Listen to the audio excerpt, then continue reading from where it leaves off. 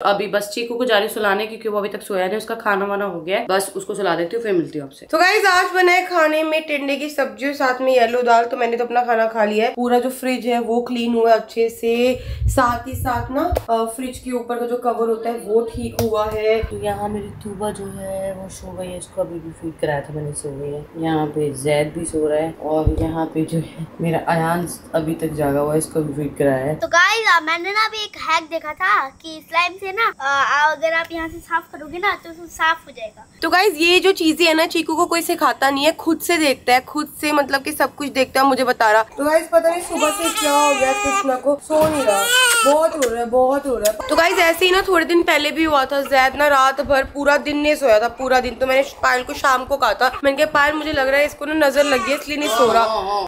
नज़र झड़ती है तो वो नीचे ऐसे टप टप टप टप टप टप गिर रही थी। तो आज ना रोली भी नहीं आई है तो घर पे सिर्फ़ हमारी जो नैनी है वो है। तो यहाँ पे डस्टिंग चल रही है तो पायल सारी की सारी सोफे और डस्ट कर रही है अच्छे से। डस्ट कर रही है? डस्टिंग कर रही है? डस्टिंग कर रही है। अब क्या सामने बनाना रखा होगा ना तो जिसको भी खाना होगा चलते फिरते बनाना खा लेगा क्योंकि घर में सबसे ज़्यादा जो फ्रूट खराब होता है ना वो बनाना ही होता। तो गाइज़ अयान तूबा और जैद ना सो नहीं रहे थे। मेरे हिसाब से ना उनको जो डाइजेशन में थोड़ी प्रॉब्लम हो रही है इसलिए गोलू सबको दे रही है ग्राई बॉटल और अभी सिर्फ़ जैद को दिए तो जैद शांत हो गया तो यहाँ पे ना पाँच साल की सारी शूज़ सारी सेट कर है। पूरी अलमीरा ना खराब हो गई थी। और गाइस यहाँ पे सारी फ्रूट्स और सब्ज़ियाँ भी आ गई है तो ये सब कुछ ना फ्रिज में लगाना अभी यहाँ ही पड़ा टाइम ही नहीं मिला लगाने का भी। तो गाइज़ आज मैं, गोलू, नैनी और अपनी लक्ष्य हम सब इतने ज़्यादा परेशान हो गए ना, इतने ज़्यादा परेशान हो गए। साढ़े नौ अभी बताया था आपको टाइम हो गया। सुबह से ना तीनों बच्चों ने इतना ज़्यादा परेशान किया हुआ इतना ज़्यादा परेशान किया हुआ है। अभी मैं क्या करने वाली हूँ, मैं इन बच्चों की ना अलग अलग से एक एक करके नज़र उतारने वाली हूँ। तो यहाँ पे ये टूबा देख लो। इसको भी नींद नहीं आ रही, ये भी क्या क्या कर रही है।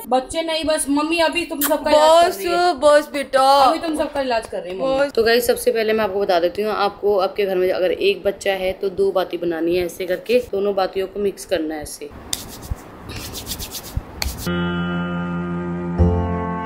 तो गाइस हमारे यहाँ पे ना बहुत ज़्यादा हवा चलती है तो इसलिए पायल धूप से जला रही है। नज़र नज़र करने का टाइम नहीं लग बिल्कुल टाइम नहीं देख देखो देखिए अब पता नहीं कौन है। पता नहीं किसकी नज़र लग गई बच्चों को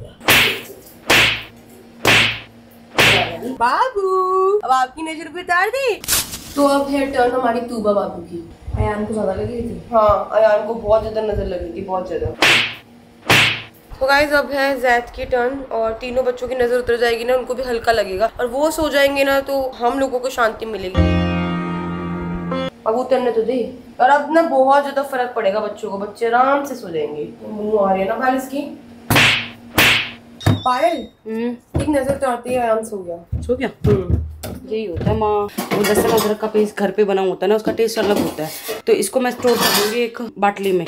इतनी छोटी कांच की बाटली में। तो गाइज़ यहाँ पे आगे बहुत सारे कपड़े, बहुत सारे कपड़े जो कि मुझे लगाने हैं और इनने हमारे बच्चों के कपड़े भी है, ट्यूबा फ्रॉक भी है, मेरा पायल का वन पीस सूट सारे कपड़े लगा दे तो गाइज़ हमने कुछ टाइम पहले ना बच्चों के लिए बेबी केयर किट मंगवाई थी तो ये किट आ गई है तो बहुत ही यूजफुल किट है। क्या क्या होता है, जैसे बच्चों को हम ग्राइप वाटर देते हैं तो उसका जो ड्रॉपर होता है ना, बहुत छोटा होता है तो ये हम ड्रॉपर इजिली बच्चों के लिए यूज़ कर सकते हैं ग्राइप वाटर में और साथ ही साथ दो चीज़ें मुझे बहुत अच्छी लगी है, जो की मैंने अभी पढ़ा है इसके बारे में। एक है एस्पिरेटर बच्चों के न्यूज़ के म्यूकस के लिए और एक है सेफ़ क्लीनिंग ट्वीजर ये भी बच्चों के म्यूकस निकालने के लिए